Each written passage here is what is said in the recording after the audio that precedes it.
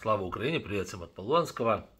Я знаю, как многие у нас возмущены действиями ТЦК, и другой раз, знаете, у самого, ну, скажем так, мягко говоря, неудовольствие по поводу э, увиденных картинок и картин, да, из жизни, с одной стороны. С другой стороны, думаешь такой, вот если не будет у нас мобилизации, ничего этого всего не будет, то, соответственно, придет тогда Россия сюда, ну, потому что тупо на фронте людей не хватит. Вот. И тогда уже вот ни, никто ни, никаким ТЦК, ну, российским военкоматом возмущаться не будет. Потому что улетишь на подвал за три минуты, там с тобой никто разговаривать не будет. Тебе просто отобьют почки в первый же день, в первую минуту. И, как говорится, э, желание э, дискутировать с ТЦК, или как оно у них там, военкоматы, ну, пропадет один раз и навсегда вместе с почками. Да?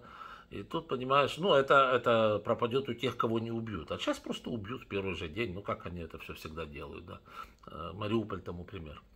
Да, так вот, э, вот я к чему веду. Э, их нравы называется, да, как у них это все выглядит. Сегодня смотрел и просто, знаете, диву давался.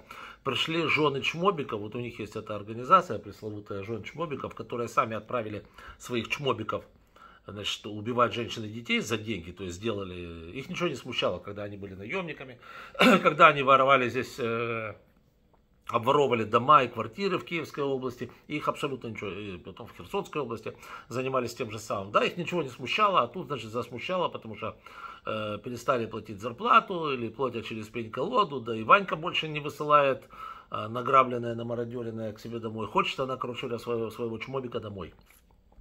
И что получается?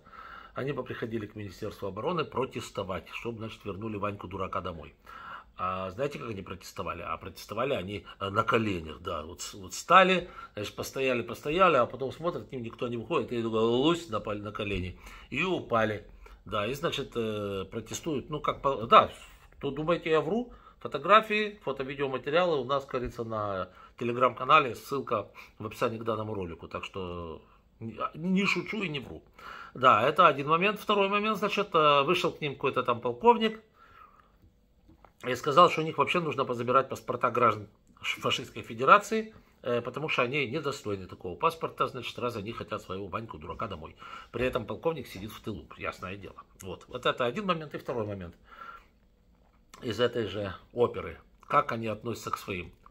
Значит, лежат, это уже на поле боя, лежат чмобики трехсотые на земле.